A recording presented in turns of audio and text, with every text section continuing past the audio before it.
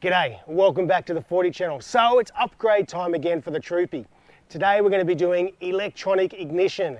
Yeah, we're going to be ripping out the old points in the condenser and we're going to be chucking in this electronic ignition kit. Now, if you're in Australia, this kit comes from Retro Road and Track. I jumped online and bought it. I've no idea about how it runs, what it does.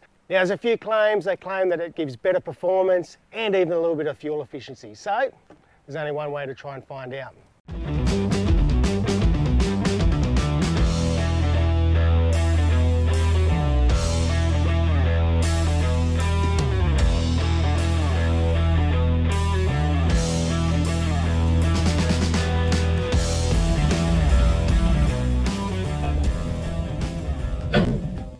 This kit comes with really extensive instructions. So I'm gonna highly recommend that you don't take this video as gospel because there could be some things that are very different with your car. And I do not wanna be held responsible for you guys blowing up a coil or blowing your kit up and making it no good. So highly recommend that you go through all the instructions, check it all, read it all, and make sure that you're doing exactly what it says. Having said that, we're gonna try to do the best we can and show you how it works and how it fits up to an old 40 series Land Cruiser. Righto, so the first thing I've done is I've just checked my timing to make sure that the timing on this vehicle is okay. It was a little bit out. Righto, to access your timing, it's on the back of the flywheel. So undo your little cap with the 10 mil screw and expose that uh, timing needle timing gun. Now these are pretty cheap. So you can pick up these timing guns from uh, Tool King, jump online, give them a call, and that way you can check all your timing and make sure it's right. So we've got our timing right before we make any changes to the ignition. The next thing we need to do, this is really important. Make sure that you go through the instructions and double check this for yourself. So the things we need to check is our voltage, some ohms, make sure that they're all within spec and we're not out of range, otherwise again, we can quickly damage the electronic ignition. So, one of the things I'm going to do now is I'm going to check my voltage to make sure we're not overcharging. I'm going to check my I'm going to check my ballast and my resistor to make sure that the ohms are within spec as per the instructions.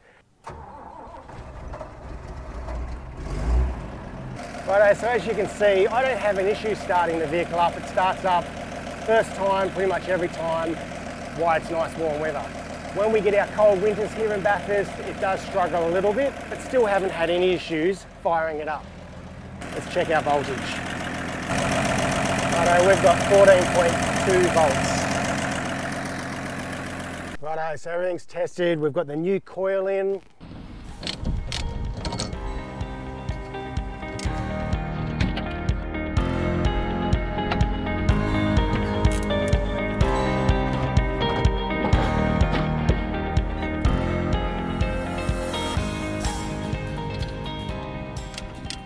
Now we're going to start ripping apart the distributor and pull out all the old points, condensers, a whole lot, and put in the new kit. Righto, eh, so the first thing we need to do is take the cap off the top of the distributor. There it is there. We can just sort of tuck that up out of the way there. We've got our low tension wire that was hooked up to our resistor. We want to take that off. And when we take that off, we take out our points and condenser and we've actually got a hole coming through and we're going to run a rubber grommet through that hole. I'll show you. Make sure that we keep all the screws, clips, everything, because we'll reuse them, but we won't, reuse, but we won't need any of the other stuff. There, underneath it. Righto, so we've removed the, uh, the points, we've got the condenser out, we've kept the screws. We've also pulled out the little bolt that came through the bottom that held the low tension wire in and we've put the little supplied grommet in. Now that grommet will allow our wires to come out from our new electronic ignition. So the first thing we're going to do now is we're going to clean it all up because it's pretty dirty and mucky in there and then we can start fitting in the new electronic ignition. Exciting. Righto, so we've just fed the wires through that little grommet. Now unfortunately the wires are nowhere near long enough to reach anything I need. It's not a major issue, it just means we're gonna have to lengthen these wires and be able to bring them up to where we need to go. All right, it's very important that you put that heat sink paste on the back of it. Make sure you put that down. Use the existing screw we pulled out. We can screw that back in. Now I've only got one screw hole that lines up. Hopefully that's okay. It's not going to go anywhere. All right, so now we've got our trigger ring and they say that just pushes straight over the top.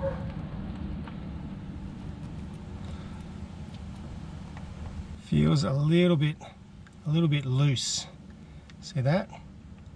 It's a bit sloppy backwards and forwards. Now they do say if that's the case, you can put a little bit of shim behind it to pack it out. So we might uh, just put a little bit of dob of glue just underneath it, just to stop it sort of moving. Righto, we're just going to use a tiny bit of the 8454 Rapid Stick. Just put a tiny little dob.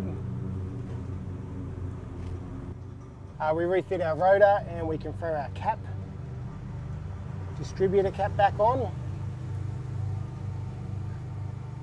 Plug anything back up that you might have unplugged. So it's all nice and firm. Now we need to uh, hook the wires up to our new coil. Right, so the only recommendation for this kit is that the wires were longer because as you can see we've got to get over here and we're way short. Not a major drama.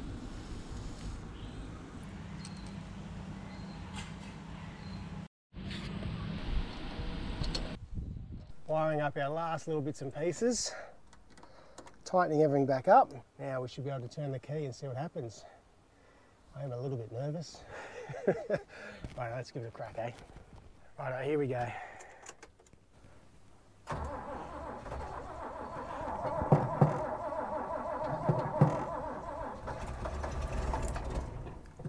Nearly.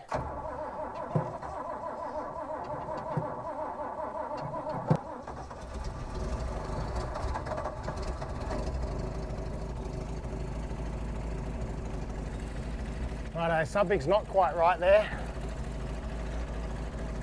But it started, so that's a good sign.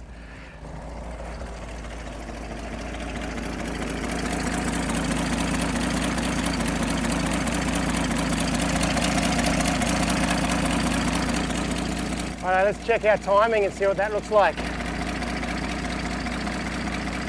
Righto, so our timing was a fair bit out. So luckily it's an easy fix. We just uh, adjusted the uh, screw and uh, fixed our timing up and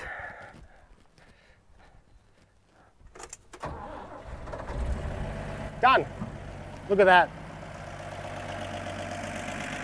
Now oddly enough, I don't know if it's just me, but it does sound like it is actually running a lot smoother. Anyway, we'll take it for a drive and see how it goes, eh?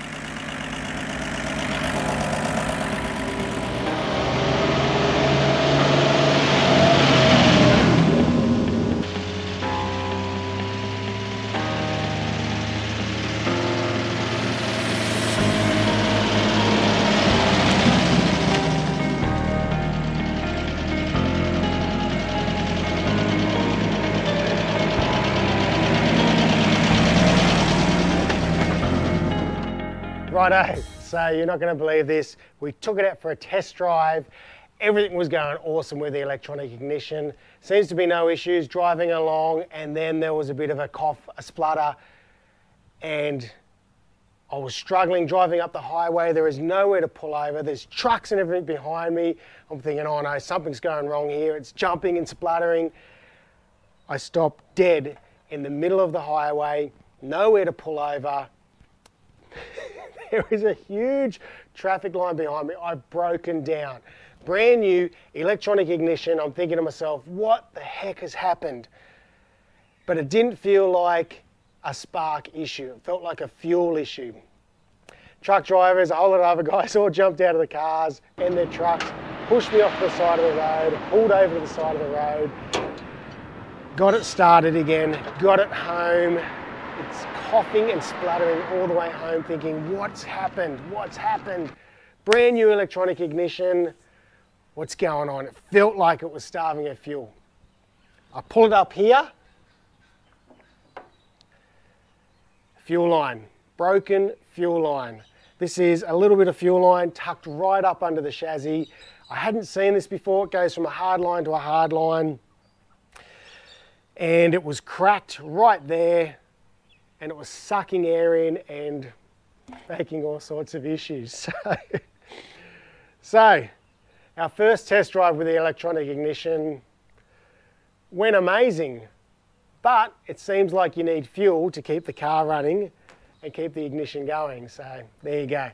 But anyway, guys, that's the AccuSpark electronic ignition. That's how we installed it. Yes, it runs really well. It works really well. Just make sure you got fuel to the carby so that the electronic ignition can fire up those spark plugs and do what it needs to do. Righto, so this wasn't a sponsored video whatsoever. I wanted to give it a go and try it out and see how it'll work out. And hey, listen, I recommend it so far. I've only had it on the road for an hour or so, but we'll keep you tuned on how it goes. Now this stuff is the AccuSpark uh, electronic ignition kit. You can buy it all over the world. Here in Australia, the uh, dealership is Retro Road and Track. Jump on their webpage, you can get it from them. And I rang them up and asked them a few different questions. Very helpful people. Righto guys, that's it for this video. Really appreciate your support. If you want to keep up to date with it, make sure you subscribe and follow along. And until next time, take care of yourselves.